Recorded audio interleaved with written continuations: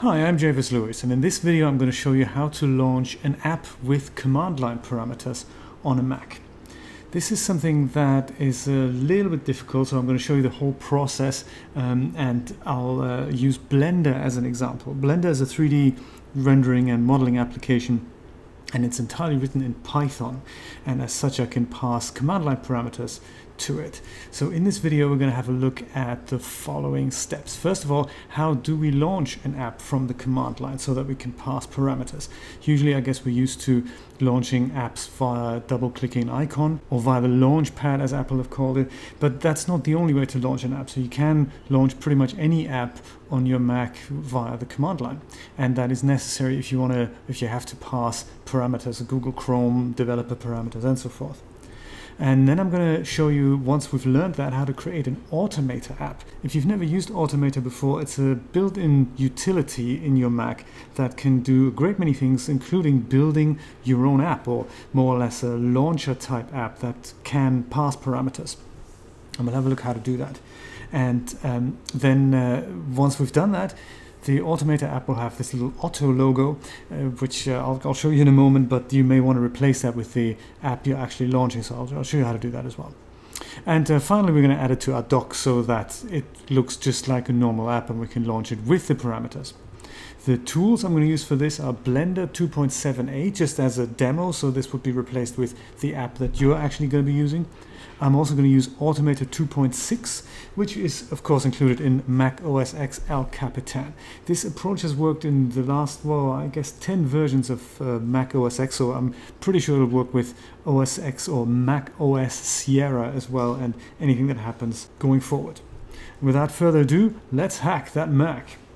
To launch our app from the command line, we need obviously the command line utility, and that is this little icon here. It's called Terminal, and you will find it in your Mac's applications under the Utilities folder, and it's just called Terminal. It's got this little icon here. And as soon as you launch it, you get a screen similar to this. You can change the fonts and all the background colors and everything. Uh, if you've never used the command line before, this may look a little bit intimidating and scary, but chances are that if you need to pass parameters to a program that you want to launch from the command line, you probably will have used the command line before. So I'm not going to introduce you to every feature that the terminal application has to offer. Now to launch our app, let me bring up a Finder window here as well. Just under File, New Finder window. That will do that. And under Applications, I'm going to find the app I'm usually launching via the Mac interface. So in my case, that's Blender, and it's saved in a folder called Blender 278, and here it is. So if I double click that, or if I drag that to the dock and click that thing on the dock, then it will open. Whoops, obviously don't want to rename it, I just want to open it. And here we have it. Now the thing I want to pass into my app is the change of a render engine. In Blender we have two render engines and we can change them up here. So by default the Blender render engine is selected but the other one is the Cycles render engine. And sometimes I may want to launch my app with this selected which would be launching it without any parameters and other times I may want to launch it with the Cycles render enabled. But I like two separate icons on my dock for that so I'm going to show you how that works. Let me close this again, quit anyway indeed. And let's see how we can launch this from the command line.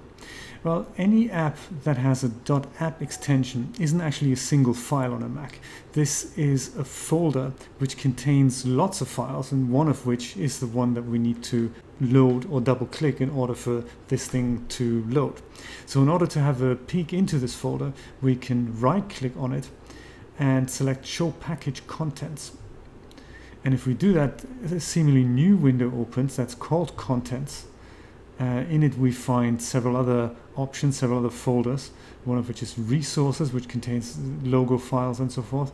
And another one is the Mac OS folder, which in our case contains one executable file, which if I double click that, Blender would launch. Now we're not uh, we're interested in this file indeed uh, because we know now it's called Blender so that's the the command I need to type in. But I also need to provide the command line window our terminal window here the full path to that.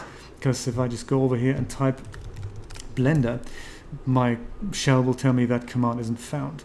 There are ways around doing that so if you work on the command line a lot there are ways that you can teach the shell this the path to more folders than the default folders and then that default folder will that that new folder will also be searched. But we're not going to do that. We're just going to give this terminal window the full path to it.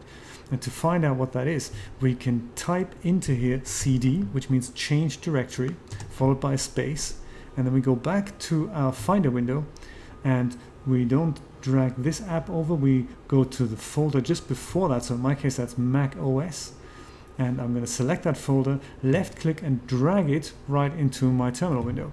And that brings up the full path, which is applications, Blender 278, blender.app, contents, Mac OS. And that's more or less exactly what we see here. So if I hit return, I'm changing the directory that I was previously in, which was my home directory, to the Blender directory, to inside the app bundle. With ls we can list all the files in this directory and there's not much going here, there's only Blender. Now to launch this file you may say well now that we're in that directory we can just type Blender and that'll be it but I'm still being greeted with command not found. Why is that? I mean I'm clearly in that directory. What's going on here? Well it's a bash Unix Mac kind of issue. Even though we're in the current directory, this command here isn't executed because we need to tell the shell that we want to in fact look into the current folder. And we do that by prefixing our command with dot forward slash. So if I type dot forward slash followed by blender, then Blender will just launch, just like a moment ago.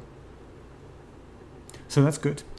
Now notice that we still have the Blender render engine activated here. And that's, that's cool, that's good to know. Let me quit that again. So we're back on the command line and we're getting any text output that the application will deliver. Blender in this case is, is written in Python, so any output will be coming into this window via the Python engine. If I uh, click my cursor up, I can bring back the last command that I've typed in, if in case I'm a bit lazy and I don't want to type things over and over again. I can also step uh, back again and then it will bring back all my previous commands and cursor down will switch to, you know, switch the commands down again.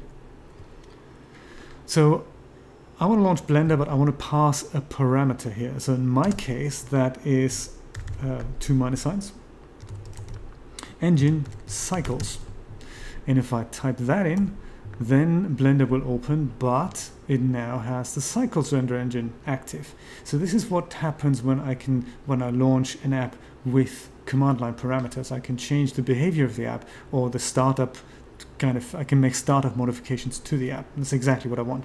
So in my case I'm just going to close this again.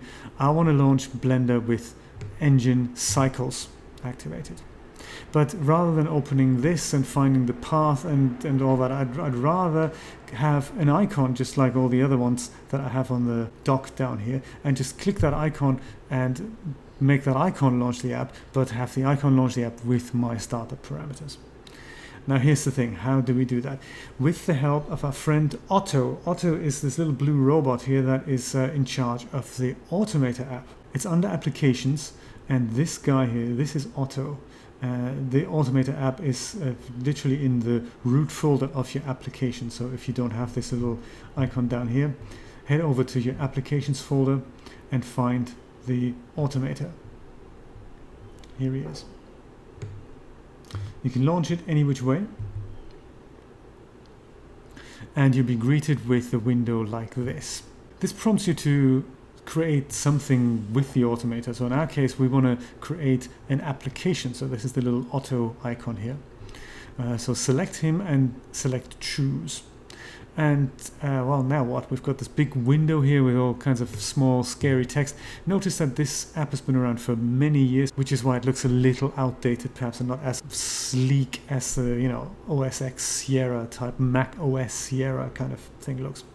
But it still fulfills its purpose, and it's got a long list of things that we can use Automator for. Now you can either scroll down this very long list of things until you find something called launch shell script, or you can just type that up here and just call, yeah, there we go, run shell script, that it is. Just type shell and then we'll bring that right up. Double click it and then this window comes up. And in it we have one, well, it's kind of a test parameter. Cat um, would list the contents of a file. We don't want that, so we can we can um, we can override that. If we go back to my terminal window, there's a couple of things that I need to know here. First of all, I need to change into this directory here that we did earlier, the path of which we found out by dragging the Finder folder into the application here. So I'm going to copy that and paste it in here. So that means change into my app bundle into this directory in which my command resides. And I hit return to go to the next line here and then I can copy the command followed by my parameters into here as well. So copy that paste that in here. So now we're basically telling the automator to do exactly what we did on the command line, but it will wrap it up nicely in a .app extension kind of file. That's all we that's all we need here. Head over to file and save and save it anywhere you like. You can save it in your applications, but you can also save it in your desktop or in another application. And I'll call it Blender Special, perhaps, or whatever you want to call your app. So save it. And now we're done with Automator, we can close this. And here it is I'm, I've saved it on my desktop so uh, there's my my special app here. And if I double click that then I should open Blender just like before with the Cycles render engine activated. Success. We love it there's only one other thing that we need to do I can actually at this point I can close the terminal window we don't need that anymore and I can also close, uh, well I'll leave this finder window open, we may need that in a moment. There's one thing that is perhaps a little bit annoying, the icon is now Otto instead of my apps icon, which you know is a little bit disconcerting. If I drag that to the dock, then I don't really know. In you know, in a couple of weeks, I will have forgotten what this is. So, uh, in order to change that, there's uh, something uh, quite convenient but totally unobvious that we can do on the Mac. Right-click this, and select get info. And that will bring up this little info box about my app. And I'll have my icon here and it will contain where where exactly it is how much space it, it uses on my disk and so forth. And I can also rename it here if I like uh, but I can also change the icon and there's there's really no obvious way to do that. Let us head over to the finder window again go back to my blender folder and do the same thing on the Blender app which has the correct icon here. Let me also right click on that and say get info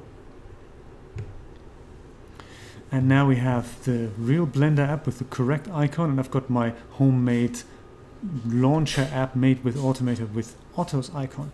Now in order to copy this icon from here to there you head over to the real icon that you want to use to the small icon at the top left and make sure you select it so that it highlights blue. If you don't select it, the command that you're going to use to copy uh, isn't going to work. So uh, just head over to edit and copy, otherwise this isn't going to work.